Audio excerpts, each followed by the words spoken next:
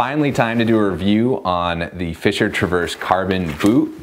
It is puking snow outside right now and I thought this would be a great time before I go out and ski to just go over what my thoughts are uh, on this boot after using it for a couple months now. And I've been in it in all sorts of conditions and terrain so I feel like I can give it an honest opinion. Um, just go over the quick features on this.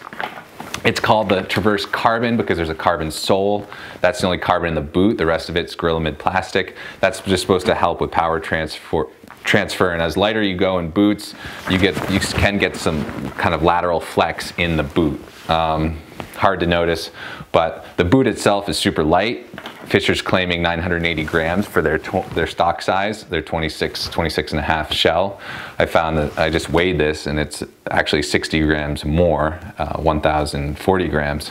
Not sure where that difference comes from. Anyway, the basic features, nice toe bail that works with both ice climbing crampons um, and aluminum crampons. BOA lace system, nice snug last. I feel like this last is a pretty forgiving last, meaning that if you have a wide foot, you'll be fine. If you have a narrow foot, you just crank down the dial.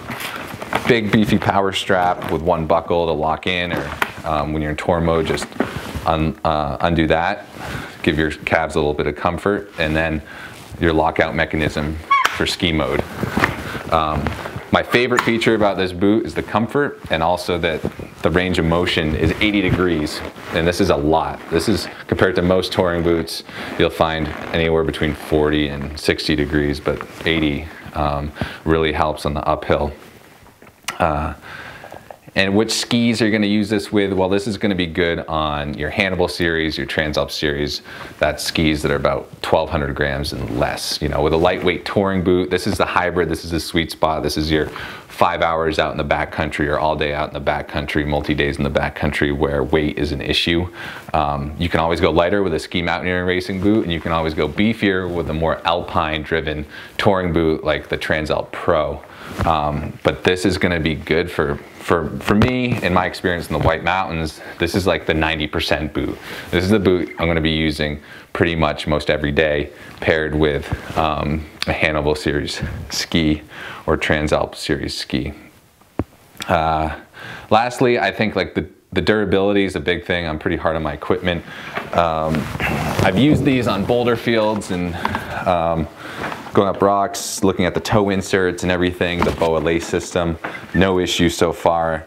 Um, this is a product that I fully endorse. Um, you know, for Fischer's first go around in a boot, a, their touring boot, I think they had some in, input from Dynafit in the design of this, but um, it's hard to it's hard to complain about it. You know, one thing would maybe be a little taller cuff and maybe a bit stiffer, which is hard to do. There's always going to be a compromise or trade-off making a lightweight boot, but I really think they nailed it. Um, if you're interested in trying this boot and you're in the New England area, just send me a message, work something out. I got all sizes and it's really important that you try out a boot that you're gonna ski in all day, actually out in the mountains instead of just in the shop. So um, any questions, let me know.